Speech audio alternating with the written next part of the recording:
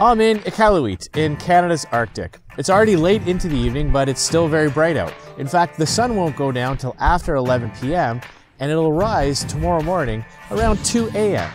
Now, it's often said in politics that sunlight is the best disinfectant. In fact, those were the words that Justin Trudeau used precisely in his 2015 election platform.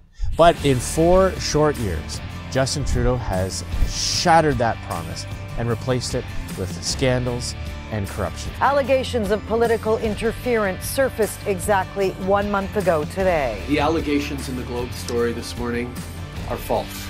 Whether it's the SNC Lavalin corruption, the Mark Norman trial, billing taxpayers for luxury upgrades at his summer cottage, or as many other ethical scandals, a pattern has emerged. Justin Trudeau uses the power of his office to reward his friends and punish his enemies.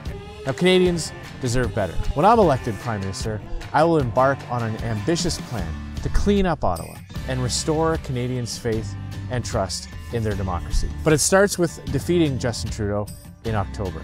With a conservative government in 2019, Canada has a bright future.